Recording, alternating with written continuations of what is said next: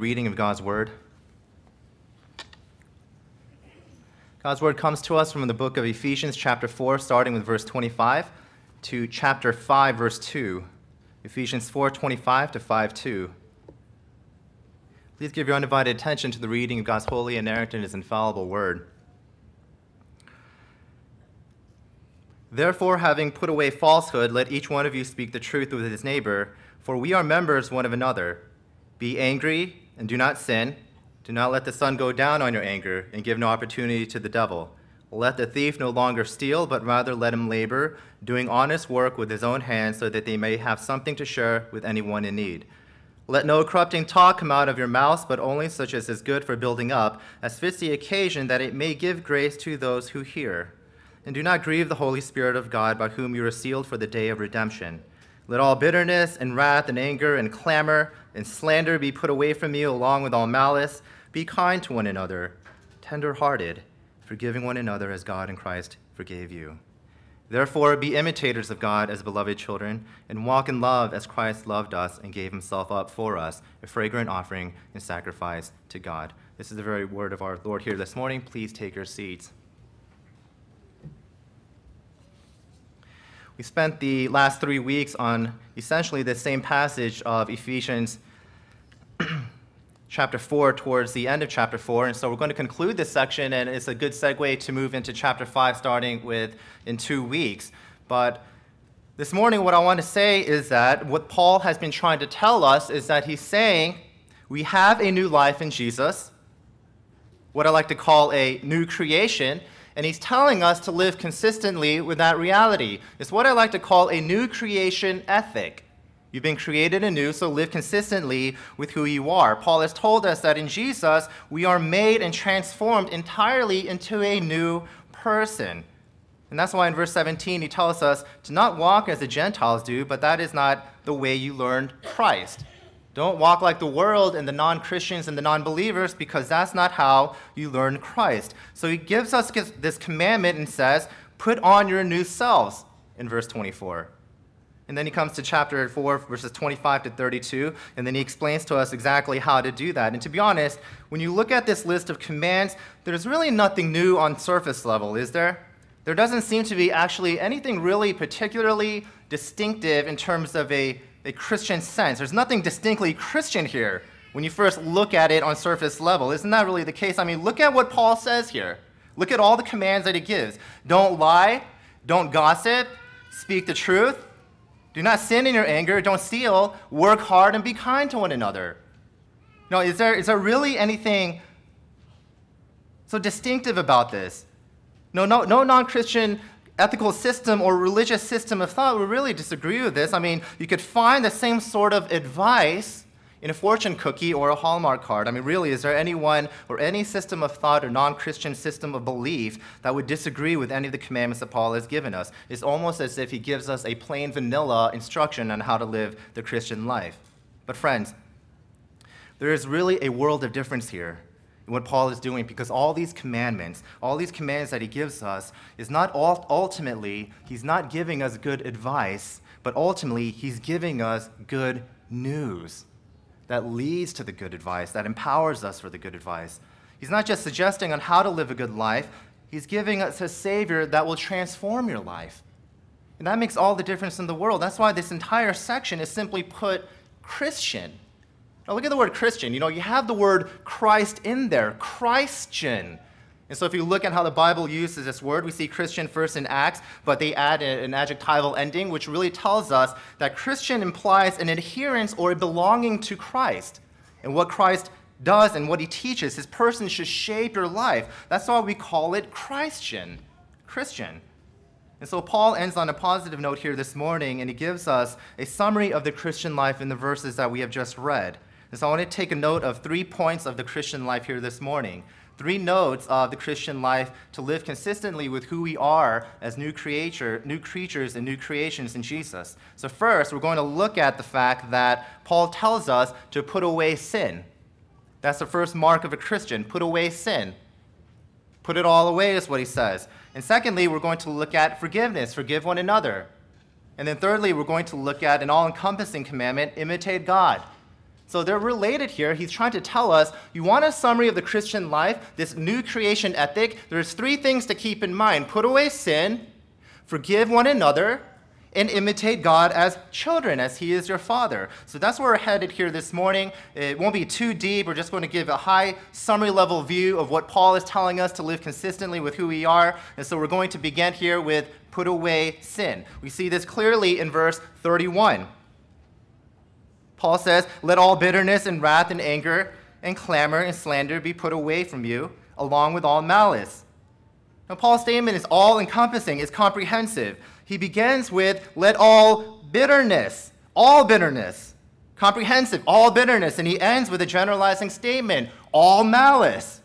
All bitterness, all malice. That's, it's all encompassing. In other words, he's telling us sinful attitudes and actions need to be put away completely. They need to be rooted out completely from your lives because they do not are not consistent with who you are in Jesus. Let all bitterness and all malice be put away from you. Peter O'Brien notes that this list is really just various forms and expressions of anger. You know, there's a logic, there's a progression of thought where Paul begins with inner attitudes, bitterness, wrath, anger, inner attitudes, inner emotions. And then that leads to outward actions of clamor and slander. So there's a, a, logic, a progression from inner attitudes to outward expression. Clamor is really loud screaming and shouting in an argument. That's what bitterness and wrath lead to. Bitterness and wrath and anger also lead to slander. What's slander? Well, you could spend a lot of time here, but it's blaspheming God or really just talking bad about people behind their backs. That's really what it is. What's slander? Talking bad about people behind their backs. And so Paul has a logic, he says, take all the inner attitudes and the outward actions and put them away from you because they are not consistent with who you are in Jesus Christ. No matter what Paul is commanding us, put these attitudes and actions away. They don't reflect the new identity you have in Jesus. They don't promote unity in the church and the glory of, and the glory of God. Put them away completely. And my guess here this morning is that if anyone here takes a long, hard look at this verse, if you look at this carefully, you'll probably be able to relate to at least one of the items in this list. Now, take a look very carefully at this verse, verse 31. You'll be able to resonate and it'll begin to feel a bit uncomfortable. One of the items on this list will begin to really speak to your heart. And you can relate and look at this verse and say, I see myself in this verse. Let all bitterness be put away from you. Bitterness is resentful. Do you look around in your life and you think, I don't deserve this. I deserve something more. Do you look around in your life and the hardships and suffering and difficulty and say, that's not the way it's supposed to be? God shortchanged me. If you feel that in your life, that means you maybe have a bitter heart. Bitter people fail to give thanks to God for blessings received, and they're quick to blame God for all hardships and trials. You is that the way that your relationship is? Are you bitter towards God? Bitter people, they take long lists of wrongs and sins. Bitter people have photographic memories of every sin that's been committed against them. That's bitter people. You never forget, you never forgive. Bitter people hold on to grudges through and through. They'll carry it to the finish line. That's bitter people. And Paul says there's a logic here. Bitterness can turn into wrath and anger. Bitterness can evolve into shouting matches and slander. You begin to resent people when they do well, and you have begin to find joy when people don't do so well in life. That's bitter people that leads to anger, wrath, clamor, and slander. And so if you look at this verse, in some way, you will be able to see yourself in this verse. You will begin to resonate and say, that actually describes me and my heart. That begins to describe the way that I think. You know, as a side note, I had a conversation with one of the brothers in this church, and it was just a random conversation, and it was about Joel Osteen and his book, Your Best Life Now. And I read the book, I wrote a paper on it for my ordination process, and you know, I didn't like the book particularly. You know, I don't pretend to judge Joel Osteen's heart or their church or their ministry, but the book itself I didn't really like. Your Best Life Now. And I thought it, and I was telling this particular brother, that title actually is really depressing. It doesn't even make any sense. Your best life now? I mean, I take a look at my life, and you know, I'm very thankful for the family and this church, but there's still sin, there's fallenness. You're telling me this is my best life now? This is all it is? No, I don't have a house, I don't have a car, I don't have any money. No, this is my best life now. You're telling me this is better than what heaven has in store for me? Isn't it my best life to come? I said, that's really dis- disturbing, really depressing, and some of you may feel like that. You look around and say, no, is this it? Is this my life? Is this all that there is? All the debt that I have, all the relational fallout? Dysfunctional parents and families? Is this really it? Is this all that life has to offer, offer to me in Jesus? And you begin to feel bitter. And then you begin to have wrath and anger, and then you begin to slander and to clamor. And Paul is saying that the Christian life means, the new life in Christ means, you uproot all of that from your life. You take it out. Now, if you're ever gardening, that's what he's saying. You take all the weeds out of your life. Uproot it out, take it all out. And so when the question comes how can I do this? If I feel bitter, I can't control my emotions. What can I do? If I feel angry, it's an emotion. You know, some of the people watched Star Trek last night, and you know, one of the main characters is Spock. You know, they're able to control their emotions. Sometimes I feel like I'm, I'm Vulcan. I, I feel like I can control my emotions. I would want to do that. But in reality, Paul commands us about emotions and attitudes, but we can't change our attitudes and emotions by ourselves. So, how can we uproot this life if Paul is commanding us to do this? And that leads to point number two. He's saying you're able to do it once you understand that God in Christ has forgiven you and that you're able to forgive one another. See, in verse 32, Paul contrasts a life of bitterness and wrath and anger with a life of kindness and forgiveness. Verse 32 Be kind to one another, tender hearted, forgiving one another as God in Christ forgave you. You see, brothers and sisters, friends, the secret to not living a life of bitterness and living a life of wrath and anger, the secret to not living like that is to live a life of kindness and forgiveness is to understand that kindness and forgiveness has been given to you already in Jesus. That's how you're able to not live as a bitter person. How can you control your attitudes and emotions and actions? Well, you can't.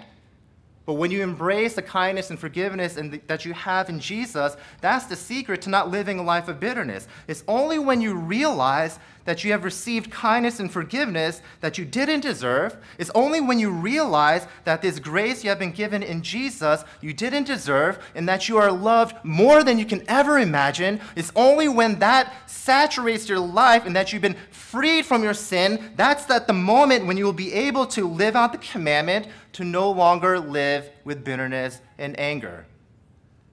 Once you realize that you have received grace and forgiveness in Jesus Christ. That's the only way that you're able to do this. Paul says, Be kind to one another, tenderhearted, forgiving one another, as God in Christ forgave you.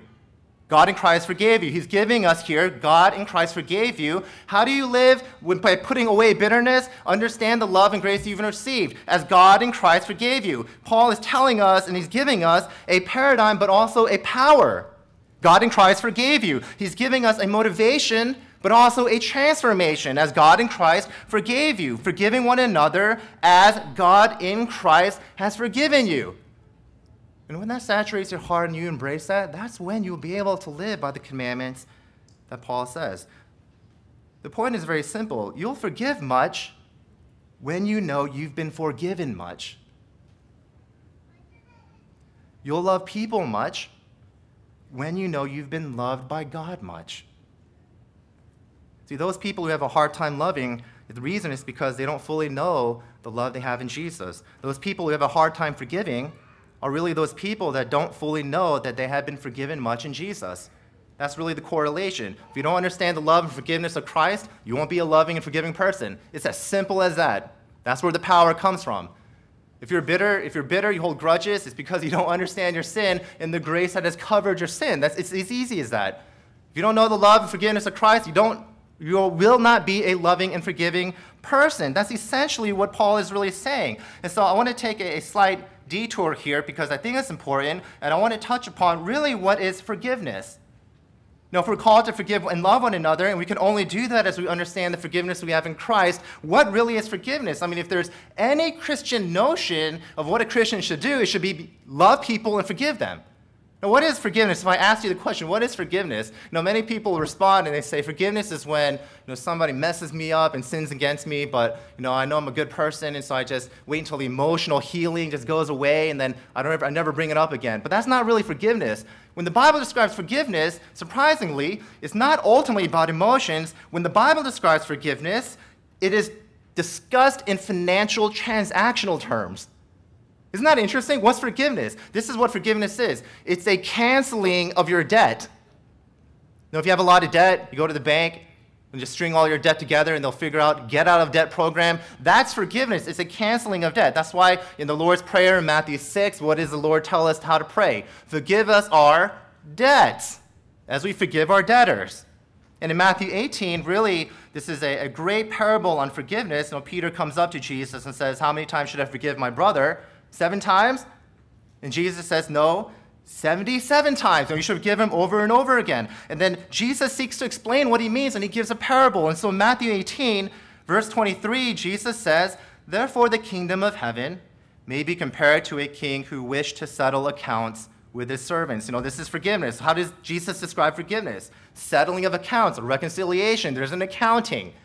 And this is what forgiveness really means because in the parable, essentially what Jesus says is that this servant goes to this master. This servant owes and has a big debt of 10,000 talents, it's millions of dollars. And that this master, out of pity and sorrow for this servant, says, I forgive you, I wipe out your debt completely. You owe me 10,000 10, talents, millions of dollars. Out of pity, I'm going to wipe that out completely. And that's the essence of forgiveness. Because when people sin against you, they have incurred a debt. They owe you something. And forgiveness either means that you absorb it in yourself or you exact vengeance and you make that person pay the debt.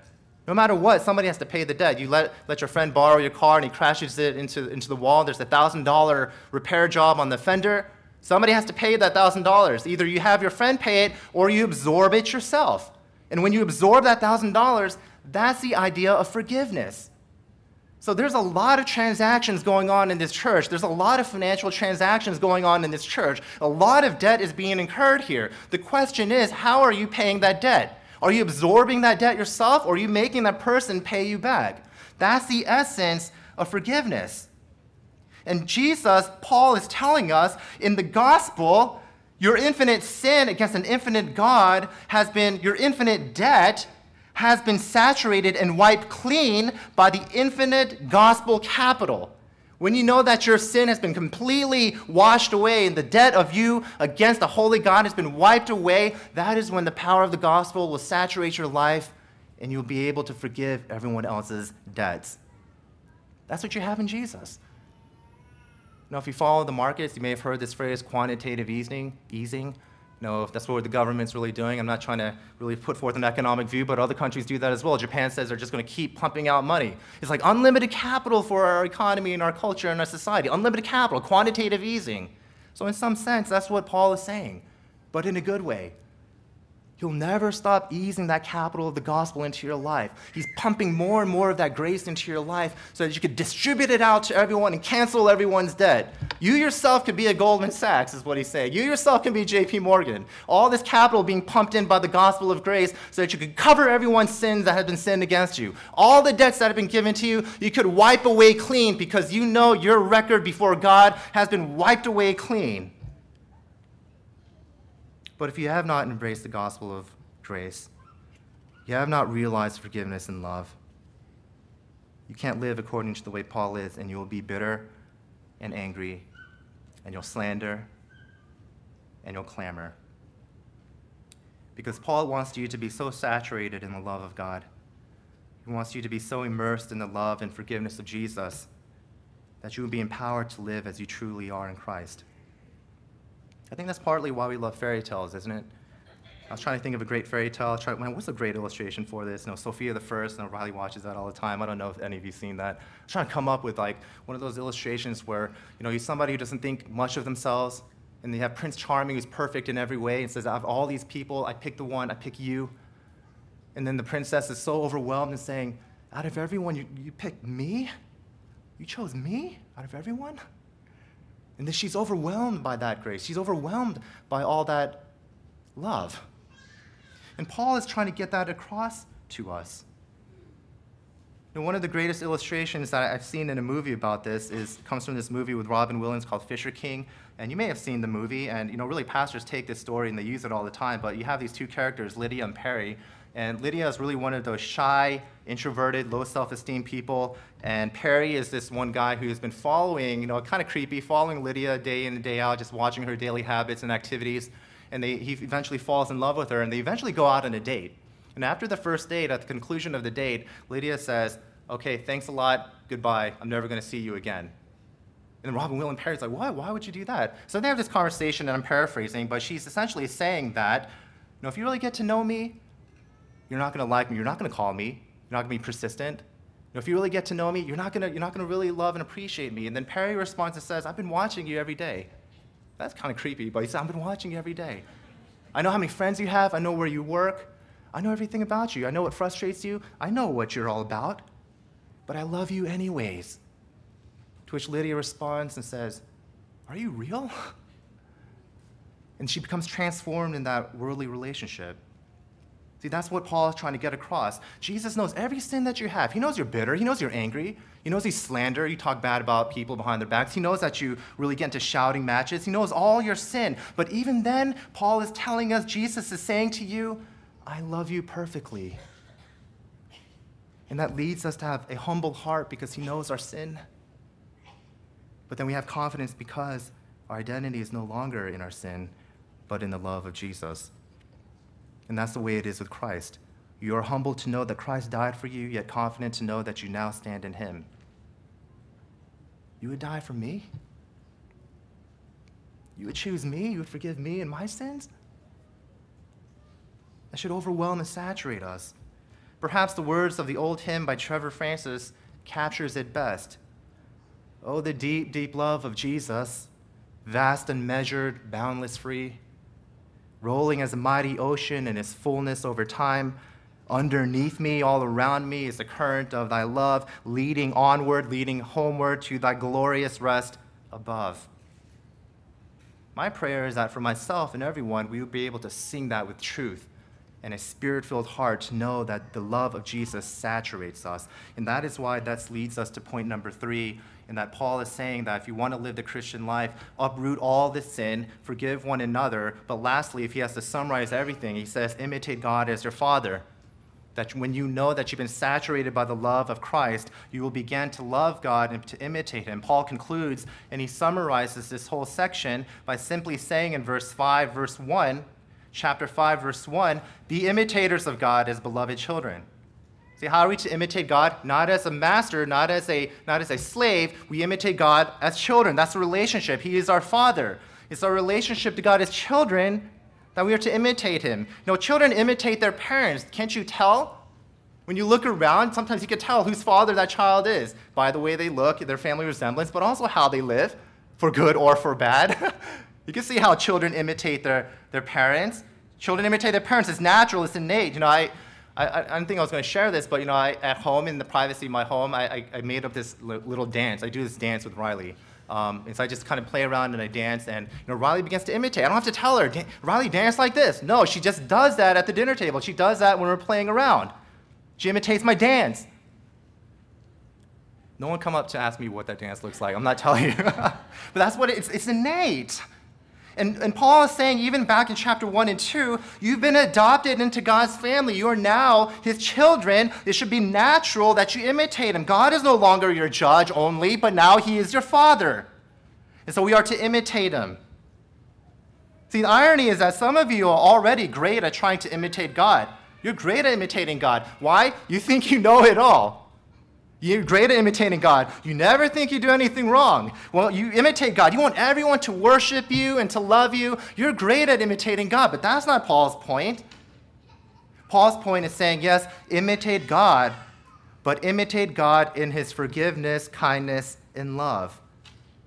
That is how you will know and show your family resemblance.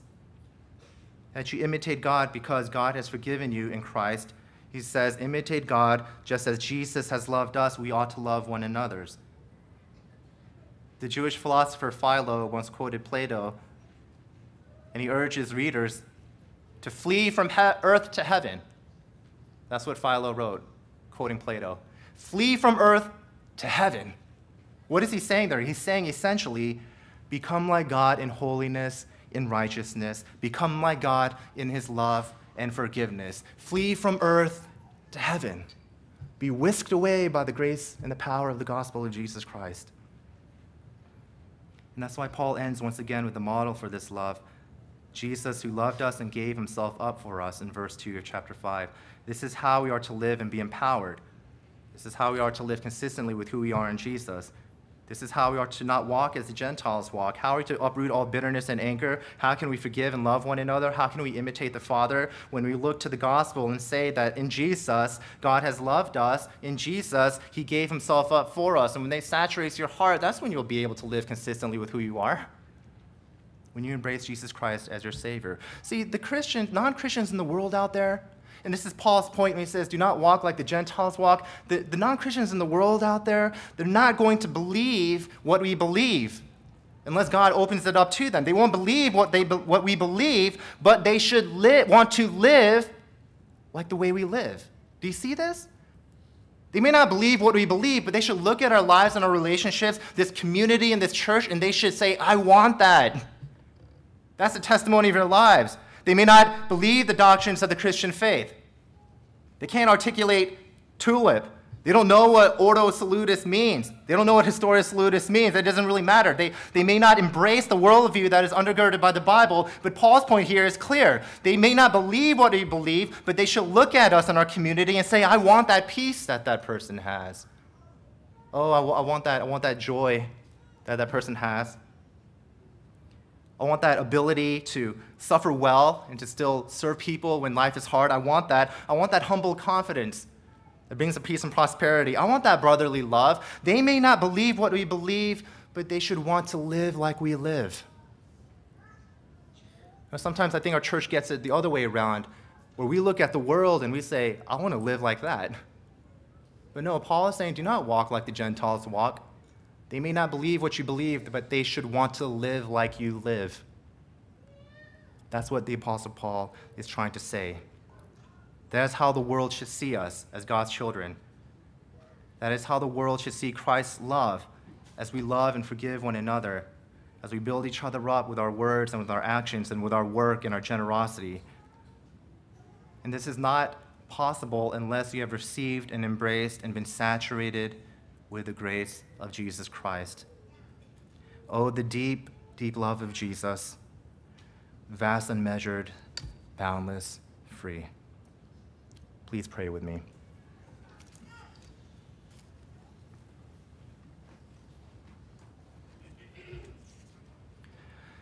Oh Lord, how can a perfect, infinite, holy God save a sinful, rebellion people like us?